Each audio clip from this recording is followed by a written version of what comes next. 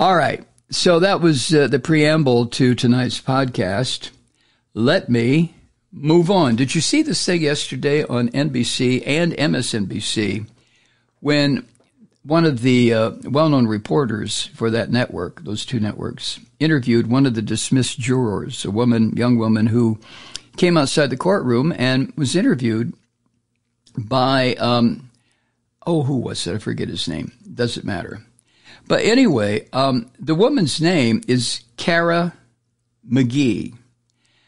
Um, she's a woman who was dismissed from the prospective jury pool uh, for job related reasons. And she told MSNBC that it was her word jarring to see Trump in person.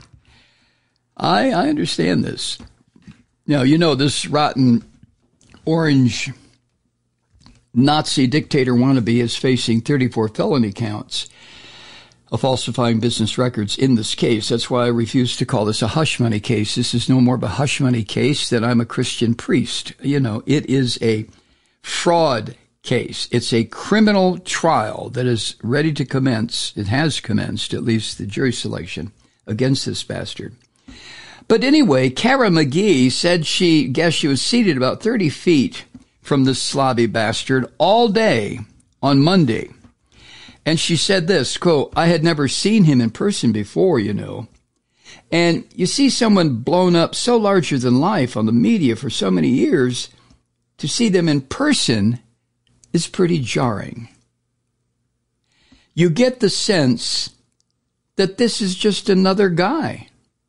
And also, he sees me talking about him, which is bizarre. End quote. Um,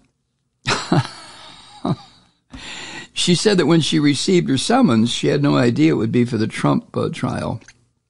She added this, quote, and then I get here yesterday and there's a massive line of Trump protesters and counter protesters and our holding room had something like 250 people in it. So I assumed that's why we were here. End quote.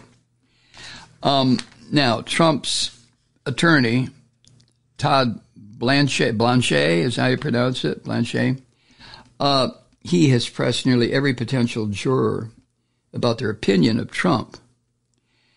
And somebody writing at Huff, uh, Huffington Post said, um, who was in the courtrooms, uh, in the courthouse, in, in, you know, in the actual room where these uh, questions were going on, she described the makeup of jurors so far as politically mixed and mild. End quote. But the quote that got me, and it was a, a much longer interview with Ryan, what's his name? He, he does a lot of work for MSNBC.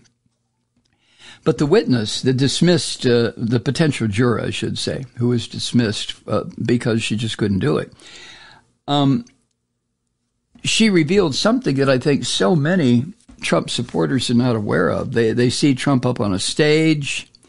They see his blown up, bloated face on television, his bloviating bullshit when he is giving a speech. But when you actually come across this bloated son of a bitch, you see somebody who is a decrepit, failing, flailing, old, rotting from the inside creep.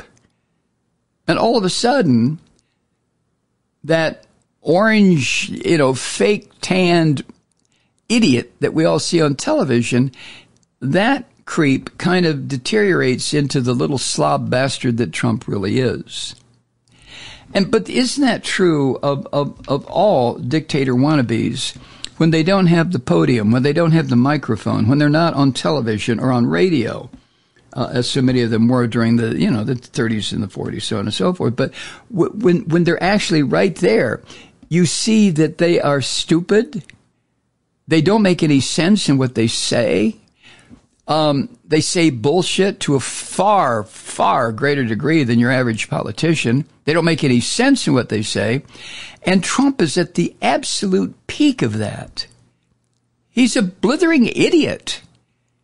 And yet, the Christian devils in this country are absolutely, absolutely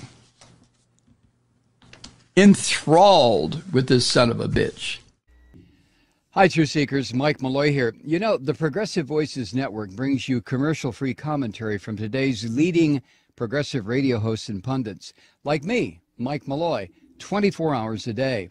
I'm not your typical old guy from the 80s or the 90s talk radio host, and Progressive Voices is not your typical talk radio network. It's a listener supported nonprofit with no corporate control whatsoever over our broadcast. So hosts like me, Mike Malloy, are free to rant and scream and carry on about whatever we like. We're often controversial, but we're never boring. Weeknights, 9 p.m. in the East, 6 p.m. in the West on the Progressive Voices Network. Always progressive, always on. I'm Mike Malloy. Keep it lit.